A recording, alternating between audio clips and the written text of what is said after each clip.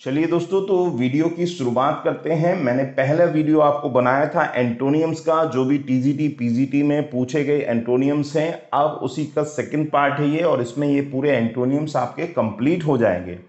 Video को शुरू करते हैं, और शुरू करने से पहले जिन लोगों ने, दोस्तों, साथियों ने, मित्रों ने चैनल को सब्सक्राइब नहीं किया है, वो चैनल को सब्सक्राइब कर लें और वेल आइकन पर, ऑल के बटन पर क्लिक कर दें, ताकि सभी वीडियोस के नोटिफिकेशन उन तक पहुँचते रहें। तो आइए शुरुआत करते हैं वीडियो की। और यहाँ पर दोस्तों जो हमारा पहला वर्ड है, ध्यान दीजिएगा, जो हमारा पहला वर्ड है, वो है फ़ीड क्या है? फ़ीड फ़ीड का मतलब होता है पालन पोषण करना। ठीक है? क्या मतलब है? पालना। ध्यान दीजिएगा, किसी को पालना। फ़ीड कराना, भोजन कराना। ठीक है? भोजन कराना। ठीक? आजकल महिलाएँ स्तनपान कराने से भी फ़ीड शब्द का बहुत ज़्यादा उपयोग करती हैं। तो यहाँ पर दिया हुआ है दोस्तों, नरिश दिया है। नरिश का मतलब भी पालन पोषण करना होता है फॉस्टर दिया है, जिसका मतलब दत्तक होता है, पालने से इसका अर्थ होता है, ठीक है? और एक वर्ड दिया है सस्टेन है, बनाए रखना होता है इसका मीनिंग और स्टार्व दिया है दोस्तों स्टारवेशन ध्यान दीजिएगा स्टारवेशन जिसका मतलब होता है भूख से। किससे भूख से या भूखा रखने से। रखना। तो जो करेक्ट एंटोनियम हो जाएगा फ़ीड का दोस्तों फ़ीड का करेक्ट एंटोनियम हो जाएगा स्टार्व ठीक है? स्टारवेशन चलिए अगला वर्ड लेते हैं। अगला वर्ड है दोस्तों बैलीग्रेंट ध्यान दीजिए बेलीग्रेंट का मतलब होता है झगड़ालू। क्या होता है? झगड़ालू। लड़ाका। ठीक है, जो लड़ने में माहिर हो, लड़ाका, योद्धा, क्या होता है? योद्धा, ठीक है? किसी का जो स्वभाव होता है, जो बात बात पे लड़ाई कर लेता है, उसको भी बैलिग्रेंट कहते हैं। तो यहाँ पर ऑप्शन दिए हैं दोस्तों, क्या? कोऑपरेटिव दिया है, सहयोगी, सहायता करने वाला, मदद करने वाला, सहयोग से काम कर ले, ऐसा व्यक्ति पीसफुल दिया है शांति प्रिय रेवोल्यूशनरी दिया है, क्रांतिकारी और अनइंटरेस्टेड दिया है, जिसको रुचि नहीं है। तो एक है झगड़ा करने वाला, एक है शांत रहने वाला। तो करेक्ट एंटोनियम हो गया आपका पीसफुल ठीक है? चलिए आगे बढ़ते हैं। अगला है हमारा choose the correct antonym of the word inferior inferior superior वैसे ही आपको याद है, बहुत कॉमन वर्ड है। लो दिया है सुपर दिया है गुड दिया है। तो इन्फीरियर का अपोजिट होता है दोस्तों सुपीरियर ठीक है? ध्यान रखिएगा। चलिए आगे बढ़ते हैं। क्या है? अनइम्पीचेबल अनइम्पीचेबल होता है दोस्तों, क्या होता है? दोष रहित क्या वर्ड है? दोष, जिस पर दोष लगाया, लेकिन वो दोष से रहित है। तो दोष रहित आप निर्दोष भी कह सकते हैं। वैसे इसका प्रयोग कोर्ट से संबंधित होता है, जिसको कोर्ट ने बरी कर दिया हो दोष रहित कर दिया हो, है ना? कि उस पर कोई दोष नहीं है। तो क्या दिया है दोस्तों? करप्टिबल दिया है। ब्लेम वर्दी दिया है, जिस पर आरोप लगाया जाए, और कैलकुलेटिंग दिया है, और मिस्टीरियस दिया है। क्या दिया है दोस्तों? मिस्टीरियस। तो कले, जो यहाँ पर दिया हुआ क्या है? ब्लेम वर्दी ब्लेम वर्दी वही एक दोष रहित है, और एक ऐसा है जिसपे हम ब्लेम कर सकते हैं, यानी दोष लगा सकते हैं। तो करेक्ट आंसर हो जाएगा इसका ब्लेम वर्दी ठीक है? दोष लगाने योग्य। ठीक? चलिए, अगला वर्ड लेते हैं। अगला वर्ड है सेलिबेसी बहुत अच्छा है, बहुत ही प्यारा वर्ड है। देखिए सेलिबेसी दैवीय इसका संबंध है दैवीयता से। किससे संबंध है दोस्तों? दैवीयता से इसका संबंध है और ऐसे वर्ड आपको हमेशा ही याद रखने चाहिए। सेलिबेसी वर्ड है, ठीक? और ओकल्ट है, ये कुछ वर्ड ऐसे हैं जो आपको बहुत अच्छे से याद होने चाहिए। दैवीयता से मतलब है, लौकिक से मतलब है, और एक बहुत कॉमन वर्ड जो होता है, दोस्तों कुआरापन ठीक है? ध्यान दीजिएगा। कुआरापन के लिए यूज़ होता है बैचुलर के लिए। सच बताएँ तो इसका जो शाब्दिक, बिल्कुल प्रॉपर अर्थ है दोस्तों, वो है ब्रह्मचर्य से। किससे है? ब्रह्मचर्य से। ठीक? तो ध्यान रखिएगा। सेलिबेसी मीन्स ब्रह्मचर्य का पालन करने वाला, जो ब्रह्मचारी है। ठीक? अब यहाँ पर दिया है मैरिजेबल ठीक? और दूसरा दिया है मैरिज तीसरा दिया है मैट्रीमोनी और अगला दिया है मैट्रीमोनियल तो करेक्ट आंसर क्या होगा दोस्तों? मैट्रीमोनी मैट्रीमोनी का मतलब होता है विवाह संस्कार। ठीक? ध्यान दीजिएगा, वैवाहिक।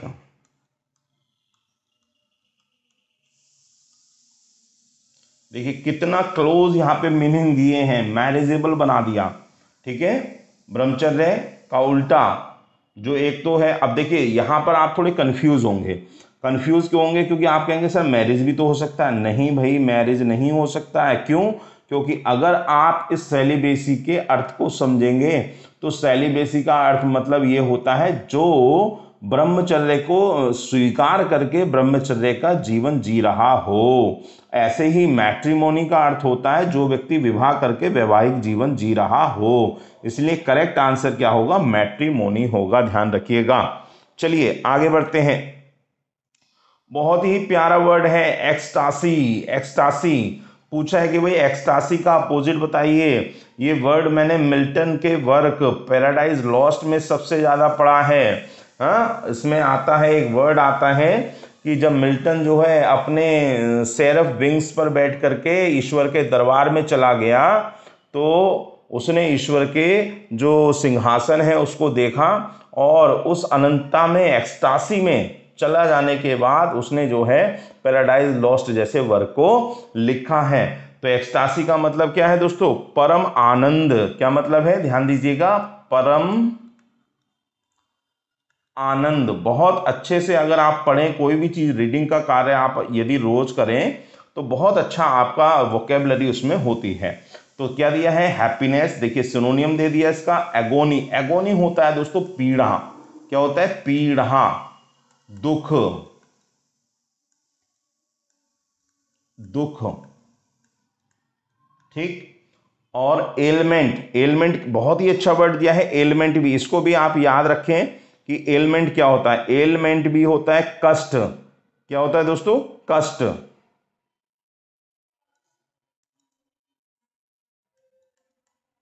तो भाई, यहाँ तो दो दो सिनोनियम बन रहे हैं। हम्म? हैप्पीनेस है और यहाँ पर एमिएबल है एगोनी है। एगोनी वर्ड पीड़ा, यातना, वेदना, ठीक है जी। और एलमेंट कष्ट, पीड़ा, बीमारी, व्याधि। तो यहाँ पर तो थोड़ा सा ये कन्फ्यूजिंग हो गया भाई हाँ? लेकिन सही आंसर जो है दोस्तों, वो अगोनी एगोनी से होगा। क्यों होगा? ये भी आपको बता दूँ। एगोनी कहते हैं दोस्तों, घोर घोर पीड़ा को। ये ये मैं बोलने वाला था, लेकिन पता नहीं मैंने क्यों नहीं बोला, क्योंकि ये वर्ड मेरा बहुत पुराना, ऐसे ही याद है, घोर पीड़ा। जब अति दुख होता है तो हम उसको एगोनी बोलते हैं। ध्यान दीजिएगा। इसलिए ये वाला वर्ड इन्होंने लिया है और इसी को बोर्ड ने सही भी माना है, ठीक है? अगर ये नहीं होता, तब एलिमेंट भी इसमें चल जाता। चलिए, अगला वर्ड लेते हैं। सॉरी तो एक्सटासी का उल्टा हो गया है यहाँ पर। एक्सटासी परम आनंद का उल्टा, परम दुख। ध्यान दीजिएगा, ठीक है? आगे बढ़ते हैं। अगला वर्ड है एक्जोनीरेट बहुत ही प्यारा वर्ड है, बहुत ही सुंदर वर्ड है। एक्जोनीरेट का मतलब होता है निर्दोष ठहराना। क्या मतलब होता है दोस्तों? निर्दोष। ध्यान दीजिएगा, निर्दोष। निर्दोष ठहराना, बताना। ठीक? अब क्या दिया हुआ है दोस्तों? अफेक्ट दिया है। क्या दिया है? अफेक्ट फिर दिया है एक्यूज फिर है एक्लेम फिर दिया है एब्डिकेट बहुत अच्छे वर्ड हैं, देखिए एब्डिकेट का मतलब क्या होता है एब्डिकेट आपने पढ़ा होगा डिक्शनरी में शुरुआती शब्दों में से है पद त्यागना पद त्यागना, ठीक है एक्लेम एक्यूज एक्यूज तो आपको मालूम ही है हुँ? हम्म? क्या है बहाना भी कह सकते हैं और दोषारोपण भी कहते हैं, ठीक दोष लगाना। ध्यान दीजिएगा, दोष लगाना अफेक्ट तो आपको मालूम ही है अफेक्ट होता है प्रभाव। प्रभाव वर्ग के रूप में कहेंगे तो हो जाएगा प्रभाव डालना। ठीक है? तो ये वर्ड है और एक्लेम आपने देखा ही एक्लेम का मतलब होता है घोष, जयकार। नारेबाजी, ठीक है? जयकार, ध्यान दीजिएगा, जयकारे लगाना। ठीक, अब आप देख लीजिए, एक है निर्दोष बताना और दूसरा है दोष लगाना। तो करेक्ट आंसर इसका जो हो जाएगा दोस्तों एक्यूज हो जाएगा। एक्यूज बोलते हैं ना एक्यूज ठीक है? चलिए, आगे बढ़ते हैं, अगला वर्ड लेते हैं। फ्रूगल फिर से आ गया, देखिए दोस्तों, इतनी बार पूछा गया है ये वर्ड कितनी बार पूछा गया है, ठीक? और क्या है? मितव्ययी। अल्पव्ययी जिसको कहते हैं हम, है ना? फ्रूगल का मीनिंग होता है मितव्ययी या अल्पव्ययी। अल्प व्यय करने वाला, व्यय करने वाला, ठीक? ध्यान दीजिएगा। अब पूछा है लिटिल अपलिफ्टिंग दिया है पैटी दिया है, और एक वर्ड दोस्तों इन्होंने दे दिया है लविश लविश का मतलब होता है दोस्तों लविश का मतलब होता है खुले हाथ से खर्च करने वाला, खुले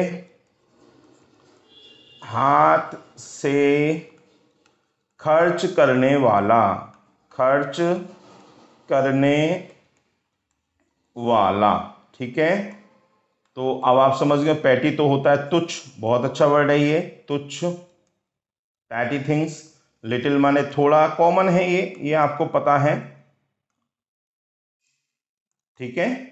और अपलिफ्टिंग भी आपको मालूम है अपलिफ्टिंग होता है प्रेरक, उत्थान करने वाला, ठीक है? प्रेरणा स्रोत भी कह सकते हैं आप, प्रेरणा प्रद भी कह सकते हैं, या प्रेरक सबसे अच्छा वर्ड है, ठीक है?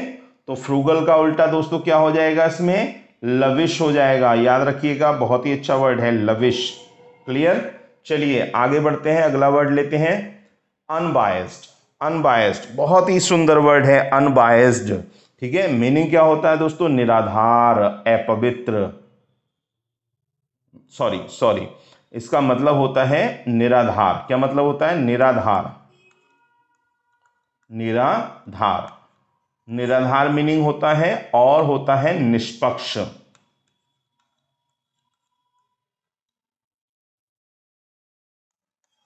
निष्पक्ष। ये इसका मीनिंग होता है दोस्तों। ठीक है? अब क्या है? ध्यान से सुनिएगा।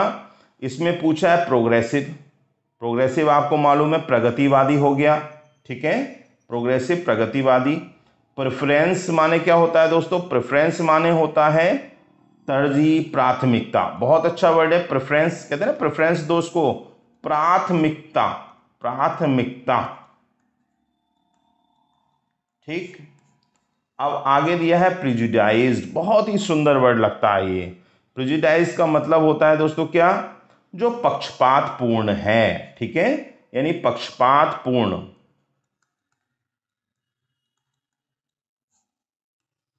पक्षपात पूर्ण ठीक? अब आपसे पूछा है कोआर्डाइज तो आपको मालूम है कोआर्डाइज क्या होता है? कायर होता है हाँ? कायरता। प्रोग्रेसिव प्रगति।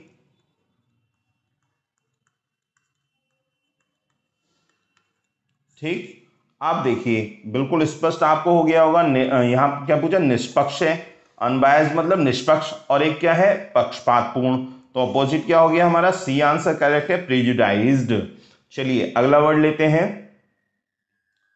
अगला है एलार्सिटी एलाक्रिटी एलाक्रिटी देखिए एंटोनियम पूछा गया है। और बहुत ज़्यादा मैं ये कहूँगा कि मतलब जिसको बहुत कम लोग यूज़ करते हैं इस वर्ड को ना एलाक्रिटी बहुत कम लोग यूज़ करते हैं, लेकिन जनरली हम क्या बोलते हैं? हम करेज बोलते हैं। उत्साह इसका मीनिंग होता है दोस्तों। क्या? उत्साह। अच्छा एक चीज़ और आपको बताना चाहूँगा। जब भी कभी एग्ज़ाम में सोनोनियम्स एंटोनियम्स पूछे जाते हैं तो दोस्तों जो गुण होते हैं ना, वो वाले शब्द बड़े पूछे जाते हैं। दया, क्रोध, है ना? इस तरह के वर्ड आप देखिएगा। जो एब्स्ट्रैक्ट एब्स्ट्रैक्ट संज्ञाएँ हैं, उनको आपसे बड़ा पूछा जाएगा। जब भी आप वर्ड देखेंगे तो एब्स्ट्रैक्ट नाउन ही आपको एब्स्ट्रैक्ट जो वर्ड्स हैं, वो आपको देखने को मिलेंगे। अब क्या है इसका मीनिंग उत्साह। अब देखिए क्या क्या दिया हुआ है इन्होंने। बहुत अच्छे वर्ड हैं। एक दिया है अनसर्टेनिटी हम्म? फिर दिया है इन्होंने एक इनेबिलिटी अयोग्यता एबिलिटी योग्यता इनेबिलिटी अयोग्यता हो गया।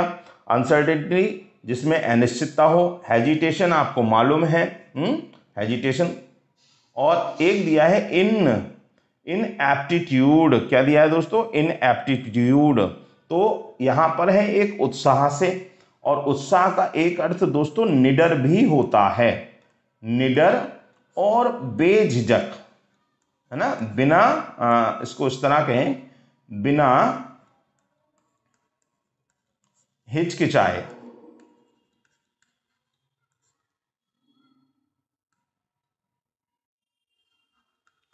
बिना हिचकाए अगर जो अपनी बात बोल देता है, निडरता के साथ अपनी बात बोल देता है, ठीक है? तो इसका जो करेक्ट एंटोनियम हो जाएगा, क्या हो जाएगा दोस्तों? हेजिटेशन क्या हो जाएगा? हेजिटेशन एक, जो उत्साह से अपनी बात बोलता है, दबंगई से अपनी बात बोलता है, एक, जो दब करके अपनी बात बोलता है, खुल करके अपनी बात को सामने नहीं रखता है, ठीक है? ध्यान दीजिएगा। चलिए नेक्स्ट वर्ड लेते हैं। प्रवोक प्रवोक प्रवोक इनवोक, ठीक है? प्रवोक माने होता है बढ़ाना, भड़काना, आगे फैलाना, ठीक? अब पूछा कि भाई इसका एंटोनियम आप बता दीजिए। किसका? प्रवोक का एंटोनियम बता दीजिए, ठीक है? और क्या दिया है? ग्रेटिफाई। ग्रेटिफाई दिया है, कन्विंस दिया है, पेसिफाई दिया है और एट्रैक्ट दिया है, ठीक? एट्रैक्ट आपको मालूम है, आकर्षित करना। पेसिफाई कहते हैं शांतिवादी। ध्यान रखिएगा पेसिफाई क्या होता है दोस्तों? शांतिवादी। शांत करना। शांतिवादी। और कन्विंस तो आपको मालूम ही है ग्रेटिफाई क्या होता है दोस्तों? ग्रेटिफाई भी क्या होता है? शांत करना। और एक अर्थ इसका होता है बढ़ाना। क्या होता है? बढ़ाना। ठीक है? ध्यान देना ग्रेटिफाई का मतलब बढ़ाना। तो प्रवोग भी बढ़ाना है ग्रेटिफाई भी बढ़ाना है। कन्विंस अलग वर्ड हो गया पेसिफाई शांतिवादी हो गया एट्रैक्ट अलग वर्ड हो गया। तो करेक्ट आंसर क्या हो जाएगा? एक में भड़काया जा रहा है, एक में शांत किया जा रहा है। तो भड़वाने का सॉरी भड़काने का उल्टा क्या हो जाएगा? पेसिफाई करना, यानी शांत करना। तो करेक्ट आंसर हमारा क्या है? सी चलिए आगे बढ़ते हैं। फिलेंथ्रोपिस्ट बहुत ही अच्छा वर्ड है और इसमें जो ऑप्शंस दिए हैं, वो भी बहुत अच्छे ऑप्शंस हैं। वन वर्ड में अक्सर इनको दोस्तों आपसे पूछ लिया जाता है कि भाई भाई ये वर्ड बताइए, ये क्या है? ठीक है? तो देखिए क्या है? एक है मिसोगेमिस्ट वर्ड दिया है मिसोगेमिस्ट मिसोगेमिस्ट क्या होता है? ये पहले आपको बता दूँ और इनको आप याद कर लीजिएगा, ठीक है? विवाह से घृणा घृणा करने वाला करने वाला। ठीक? ध्यान दीजिएगा।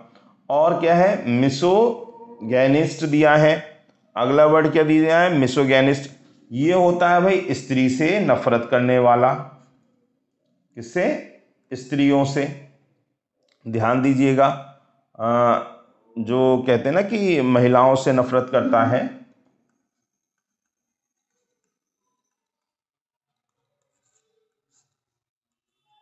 से नफरत करने वाला। ठीक? और यहाँ पर ऊपर क्या था दोस्तों? फिलेंथ्रोपिस्ट इसको कहते हैं हम, ये जनरली क्या है? बहुत कॉमन वर्ड है, बहुत बार आपके एग्ज़ाम्स में इसको पूछा जाता है तो इसको आप याद कर लें और वन वर्ड के रूप में भी आते हैं। क्या है? परोपकार। परोपकारी, ठीक है? क्या है? परोपकारी। तो परोपकारी मिसोगेनमिस नहीं है, विवाह से घृणा करने वाला, महिलाओं से। अब क्या है दोस्तों? उल्टा होता है मिसएंथ्रोपिस्ट क्या होता है? मिस एंथ्रोपिस्ट मिसएंथ्रोपिस्ट हम किसको कहते हैं? जो मानव द्वेषी होता है।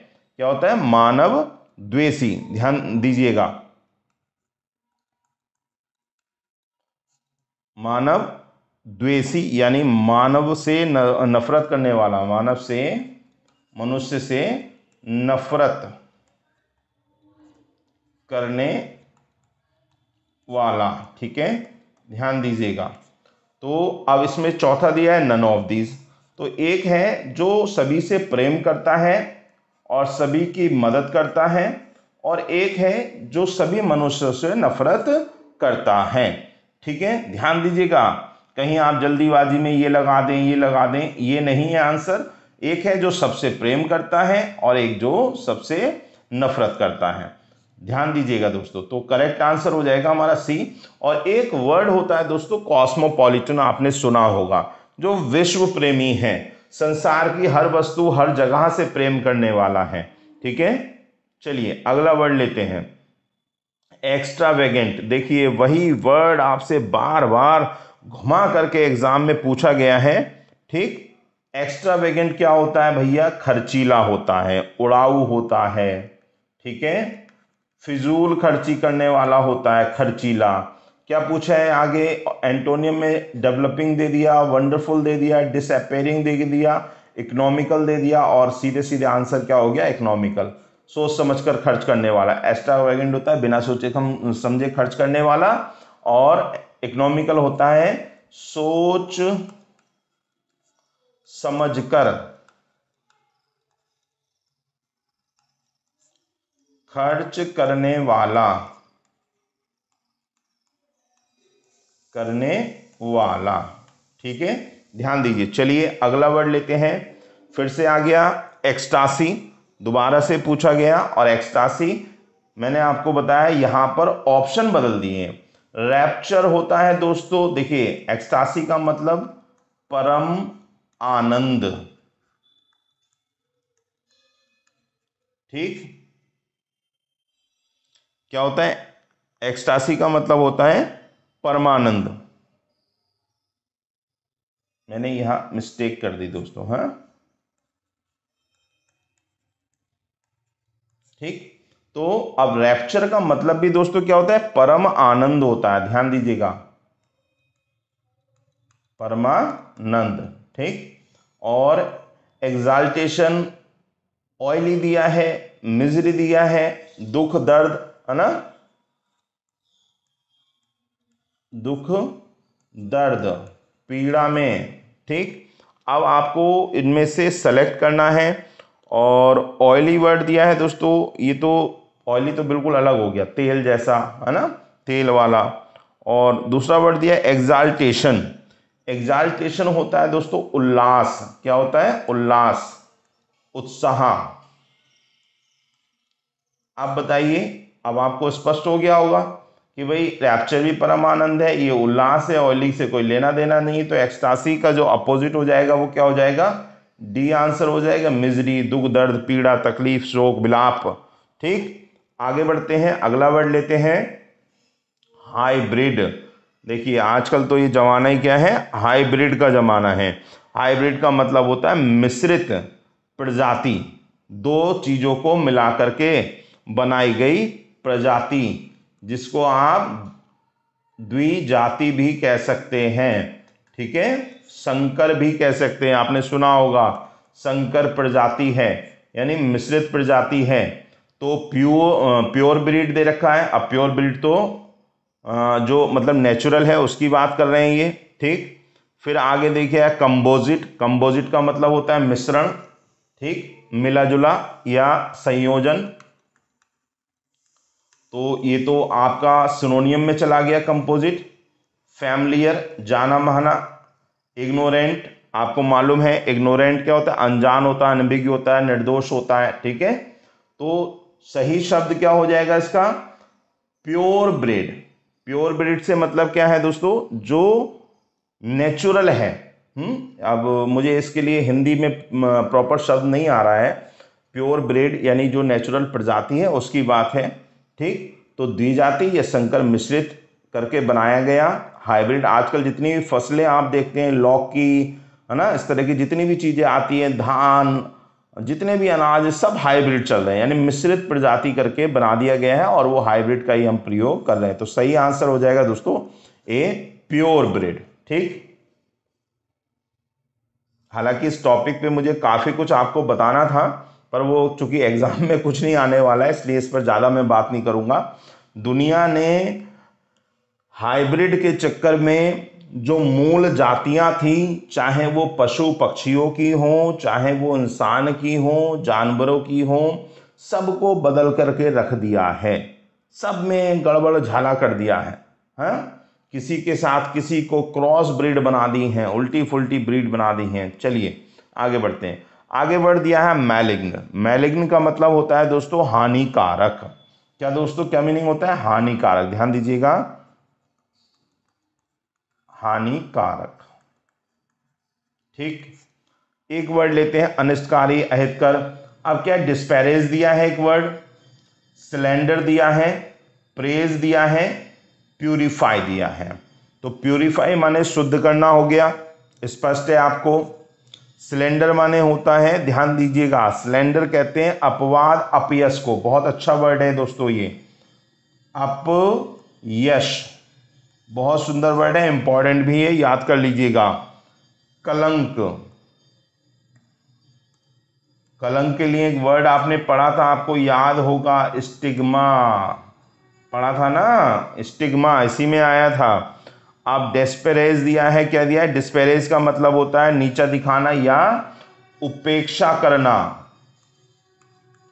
उपेक्षा करना, ठीक है? उपेक्षा करना क्लियर तो आप देखिए, एक है हानिकारक। अब पूछा क्या जा रहा है कि हानिकारक से मतलब है अहित कर, निंदा करना, किसी को परेशान करना।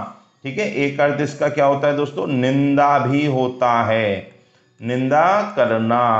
तो निंदा करने का उल्टा क्या हो गया भैया? प्रशंसा करना।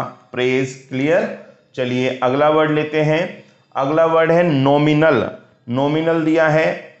नॉमिनल का मीनिंग आपको स्पष्ट होगा। मामूली होता है।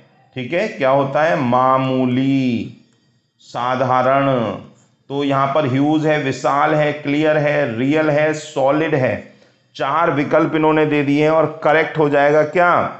रियल रियल हो जाएगा। नॉमिनल का मतलब नाम मात्र का। रियल का मतलब वास्तविक। चलिए अगला वर्ड लेते हैं। क्लैंडेस्टाइन बहुत ही सुंदर वर्ड है दोस्तों, याद कर लीजिएगा। हमेशा हमेशा के लिए इसको याद करें। बहुत ही अच्छा वर्ड है। क्लैंडेस्टाइन ओपन दिया है सीक्रेट दिया है सरप्टियस दिया है और सीरियस दिया है। क्या दिया हुआ है दोस्तों? सीरियस भी दिया है। ध्यान रखिएगा। तो क्या होगा? ये कुछ वर्ड मैं आपको बता रहा हूँ दोस्तों क्लैंडेस्टाइन अलौकिक ओपन दिया है सिगरेट दिया है, इसका अर्थ होता है गोपनीय। अब अपोजिट आपसे पूछा है तो अपोजिट क्या हो जाएगा दोस्तों इसका? ओपन हो जाएगा। ठीक है? चलिए आगे बढ़ते हैं। ज़्यादा लंबा हो जाएगा वीडियो, इसलिए थोड़ा सा जल्दबाजी। The opposite of supercilious snobbish है मीक एंड अम्बल है तो सीधे सीधे आपको बता देता हूँ, मीक एंड अम्बल अम्बल मतलब एक तरीके से जो थोड़ा दब करके बात करता हो, मीक, है ना? वैसे तो मृदुल होता है, जो अच्छी भाषा का प्रयोग करता है एरोगेंट है सुपरफिशियल है, और स्नोबिश है। क्या दिया है दोस्तों? स्नोबिस मीक सुपरफिशियल तो यहाँ पर वर्ड आपको दिया है दोस्तों सुपरसीलियस सुपरसीलियस का मतलब दिखावा दिखावा करने वाला। क्या होता है दोस्तों? दिखावा करने वाला करने वाला। ठीक? और एक है दोस्तों यहाँ पे मीक और अंबल तो करेक्ट है दोस्तों मीक एंड अंबल जो हृदय से सामान्य है। ठीक है? हृदय से सामान्य मृदु भाषी है मृदुल उसका स्वभाव है, ठीक है? अगला वर्ड लेते हैं दोस्तों। अगला वर्ड है एम्पल क्या पूछा गया है दोस्तों? और ये वर्ड आपको दोस्तों कई बार देखने को मिलेगा। ध्यान रखिएगा एम्पल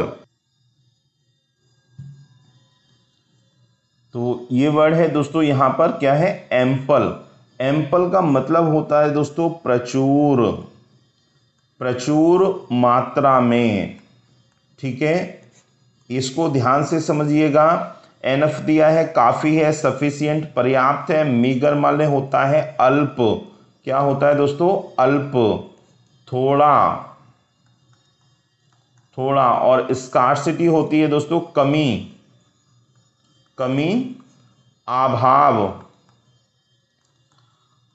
सही आंसर क्या होगा दोस्तों? सही होगा स्कारसिटी ध्यान दीजिएगा स्कारसिटी का मतलब होता है अभाव। अब आप कहेंगे, सर, प्रचुर का उल्टा तो थोड़ा हो जाना चाहिए। बिल्कुल नहीं होगा। क्यों नहीं होगा? सुनिए।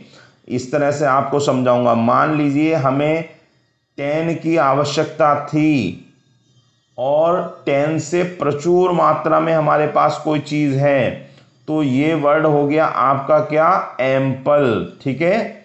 अब वो कह रहे हैं, थोड़ा, थोड़े में हो गया हमारे पास कि एट है सेवन है। ठीक है? अब यहाँ पर कहा जा रहा है कि भाई स्कारसिटी हो गई। मतलब जो चीज़ हमारे पास होनी चाहिए थी, वो बिल्कुल ही नहीं है, अभाव हो गया। तो चूँकि एक निश्चित सीमा से जितने की हमें आवश्यकता है, उससे काफ़ी मात्रा में अधिक को एम्पल कहा जाता है। ठीक? ऐसे ही जितना निम्नतम कम हो सकता था, ठीक, उससे भी अधिक। बिल्कुल स्कारसिटी अभाव हो गया। तो इसलिए सही जो इसका एंटोनियम होगा, वो होगा स्कारसिटी ध्यान दीजिएगा। तो मिलते हैं अगले वीडियो में सिनोनियम्स का वीडियो के साथ। तब तक के लिए नमस्कार, धन्यवाद थैंक यू और मेरे प्यारे साथियों, अपनी स्टडी को मज़बूत रखिए, अच्छे से स्टडी करते रहिए। कोई दिक्कत हो क्वेरी कर सकते हैं। और अपने भविष्य को उज्जवल बनाने के लिए रात दिन प्रयास कीजिए। नमस्कार, धन्यवाद, थैंक यू।